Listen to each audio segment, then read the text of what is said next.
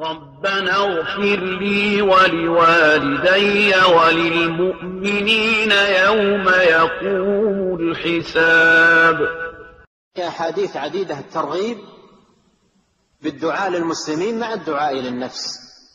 بل إنه يترتب على ذلك من الأجور العظيمة والفضل العميم ما لا يعلمه إلا الله. ولو كان في الوقت سعة لوقفنا على نماذج.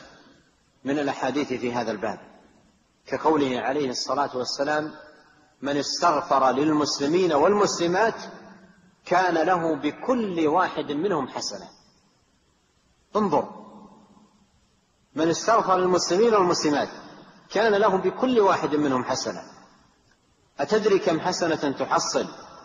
إذا قلت في دعائك اللهم اغفر للمسلمين والمسلمات والمؤمنين والمؤمنات الأحياء منهم والأموات كلمة لا لا تبلغ سطرا واحدا. كم كم كم من الأجر تحصل؟ عد من آدم إلى أن يرث الله الأرض ومن عليها. كل مسلم لك به حسنة. ملايين الحسنات.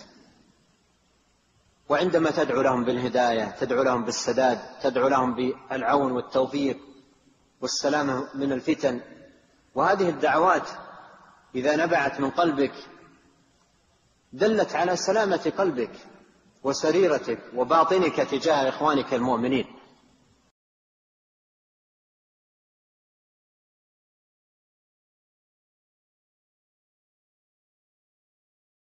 أهل السنة والجماعة السلفيون. السلفية هي الفرقة الناجية. هم أهل السنة والجماعة.